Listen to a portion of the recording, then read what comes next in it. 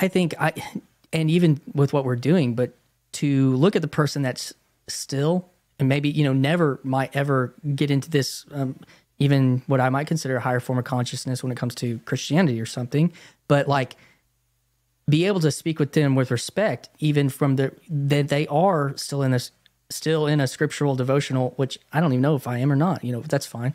But like, um, have to be able to respect that and, and even say, hey, you know, I was raised this way. And, and even though there was, I mean, you and I, I, I, can, you know, go into bed in tears having conversations about the end of the world. Like, mm. I, I have problems with that. And, you know, I had, you know, and I have conversations with people now that about that. Let's, hey, let's not talk about that around the kids. I can, I'll have that conversation with you, you know, or something like that. Um, and I can meet you there. But, um, so, being able to to dialogue with in people in that space. But I, I also think that people that are coming into this space through this medium, which is Jordan Hall and and and the the Peterson pipeline, like downstream mm-hmm. from that, from New Atheism, I think that they are they do have a language that is transcendent from and and won't just I mean some people will, but like fall into like I'm just gonna pick up the, the Christianese jargon. I don't know. Mm-hmm. I don't see that as as the case very much in yeah, this in this world. Yeah, yeah, I agree. Um, I agree with a lot of that. I, I, I, I guess yeah. Maybe the last thing I'll say on that front is is um, hmm.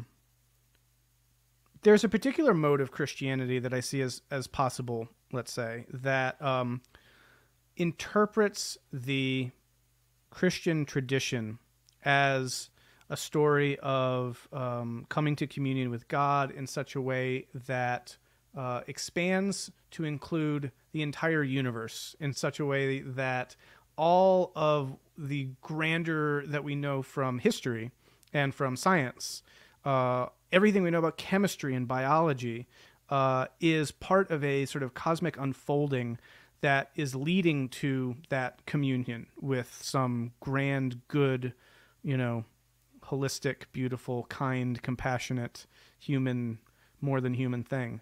Um,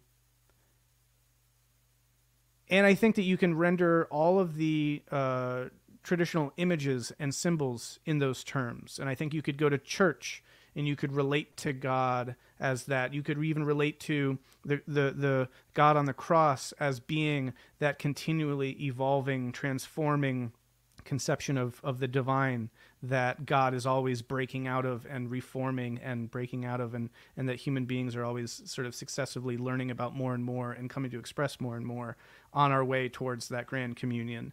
And, uh, and you can look at the entire history of evolution as being this meaningful, significant, incredible journey, um, et cetera, et cetera. I think all that's very possible, and even framing that as as Christian, as Christianity, that this is sort of a particular new kind of way of thinking about Christianity. And there have already been people in this vein, you know, Teilhard de Chardin and other people who who've kind of thought in these terms. Um, and in my conception of that Christianity, uh, if someone says, "Did Jesus, you know, cast out demons from people to heal their diseases?"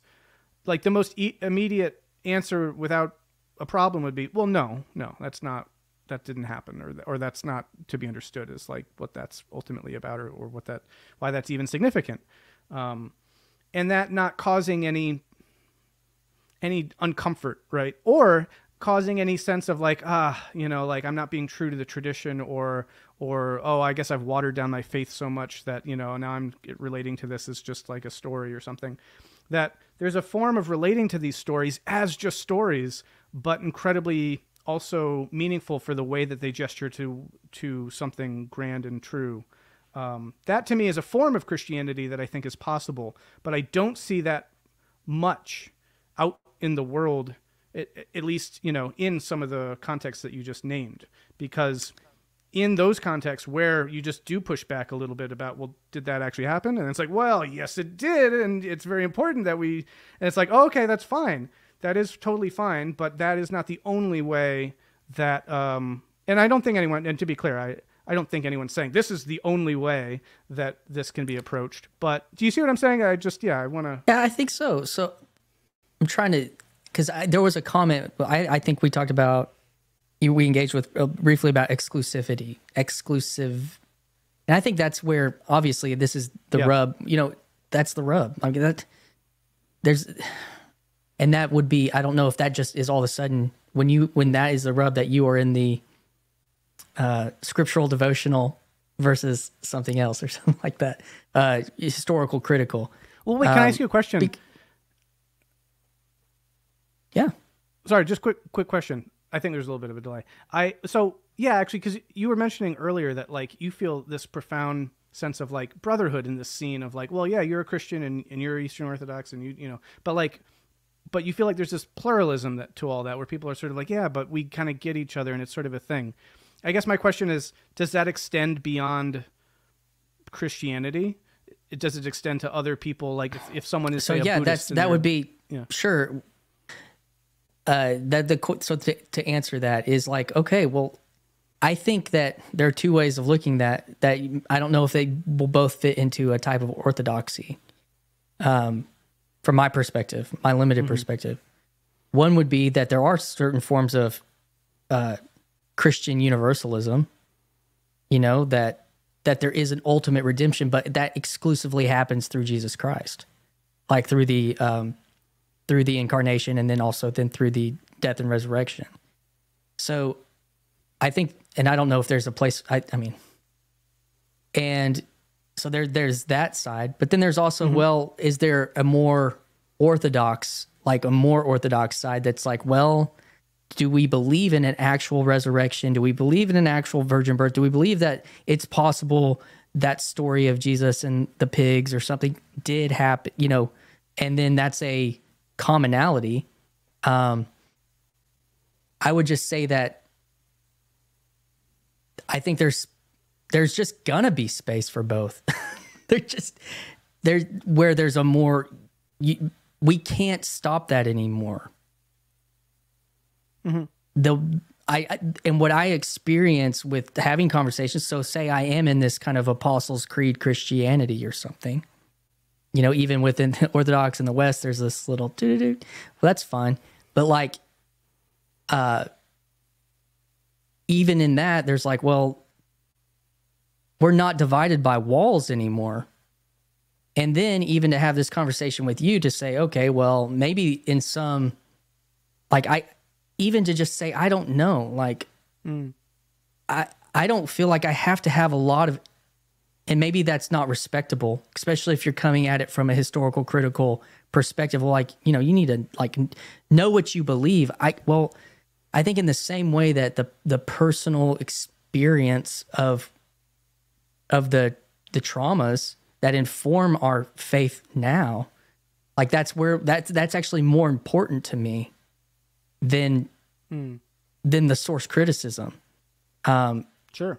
and and so but i say yeah i know about that stuff. Um and i don't know about it as well as brendan dempsey at all. I would say maybe go talk to him. And and i think that you would be gentle with somebody in a way because you, you because of how intense it was for you. So it's, you know it's like i don't know. Um i don't know if that's answering your question. Uh and i don't think i'm trying to skirt around it so Well, I also I'll say briefly too. Like I hope people don't get the impression that I'm suggesting um, anyone who would be a Christian needs to go read you know a bunch of source criticism or something. I I I, I don't I don't. Um, that's not my. That's not for me what matters. Um, I think it it ultimately all boiled down to it's just a matter of um, yeah like like having a sense of of uh of taking certain ways of knowing seriously and uh and and not being closed to them uh and also being open to the fact that I mean, I think that the that the spiritual journey is is a kind of punctuated equilibrium of of, of worldview busting. You know what I mean? Like I, I think that um, at least that's been my experience, Yeah. and uh, and I feel like I mean I'd be curious how you would relate to the idea, having gone through your experience, like it how would you say completely this? it, i would say that the propositional dissolved but Mm. i mean i still think that i i stand on i i operate with propositions like i said i believe in a literal jesus christ and a literal resurrection or real resurrection like yeah because and, but but i think i believe in it more because it happened in my life Yeah, and that what that represents. Yeah, you Yeah. know that that's actually and that that's a that's a that is a true framework in which that makes complete sense you know in the meaning crisis or whatever for me and that um that but it, but it is informed by a whole life of Christianity. And you know I'm a small town guy from Arkansas. I haven't had a lot of great exposure to the uh, other the world religions multiculturalism on a certain level. I traveled quite a bit and spent summers in California and Florida and different places, you know, and traveled out outside the, the United States a couple of times. But so, but not lived in metropolitan, super multicultural uh, centers or whatnot, but are religiously diverse, you, you know. So, um, I don't bring that as a as an experience and and so that could you know well you just haven't seen enough of the world baxter okay that's that might be true but this is still this is still like uh, foundational for me yeah, yeah. And I also, to that point too, I I don't think. I think it's a very unreasonable uh, notion that someone needs to be intimately aware with some or all of the world, uh, you know, religions in order to, you know. well that's I kind of a modern or modern and a postmodern idea i think. And and and to that point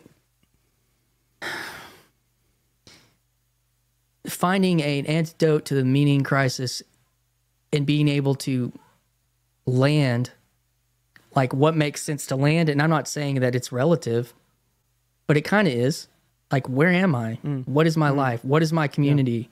What is my history? Yeah. like and and not only that even the point about like being able to factually intake all the religions or all the cultures like that is a new phenomenon. Mm-hmm. Like only the great adventurers were able to do that until the encyclopedia and even at that point you know now it's a youtube search but it's like um are we all we are I wanted i think i wanted to mention this to you. It seems like humanity is so far outpaced by our technology because sometimes when i think about the the religious practice like even like our most divine or high forms of liturgy which are really complex they they are um they're kind of simple in a way in comparison when you compare it to insane architecture and or even though you, I mean you can look back at historical art I don't know if I'm I'm saying this right. Like worship and doing a rites of passage for a young man and and doing a having communal experience you know small group community experiences and these things are they, they're kind of simple. Sure. versus this giant thing of the world. Um and i know that that kind of touches on some relativity or uh whatever but this is how this is where i can land and this is where i can like cultivate deep meaning into my family i can cultivate wisdom i can cultivate I- ideas about what is true and yeah No, I think that that's great. I I think everything you just said is is wonderful, and I would totally agree with it. Um, and I think, and you know, briefly when I talked to Paul Anleitner about this a bit, he kind of came, you know, made a very similar point, and I think it's a really important one, right? Which is that we can't live on all of the islands, right? We could navigate to all the different islands, and we could hypothetically. Well, no, I mean this is the point. We can't, couldn't hypothetically do live all those lives. Like, Yeah. we we see that some that other people are living other lives. We see that other people are inhabiting other worldviews, uh, and we can get a sense of that. But everyone has to have the spot from which they operate. And if you're going to operate deeply in a spot, which people should try to do, that's a good thing to do. Then you've got to go deep into whatever your spot is and basically say, I'm not these other things. I think that that, I think what's the key about it though is that you're aware of that move, right? There's a profound difference between someone who says what you said and someone who says, "Well, I'm a Christian." And that's just the way it is, and it's right, and all these other people are just simply wrong, and I'm not even gonna, you know what I mean? Like, even, you know what I mean? Like, because even if there's a certain way to which you kind of come down ultimately in something very similar in the end, which is to say, well, I am a Christian and I do think that this is the ultimate truth and I do think this is the way.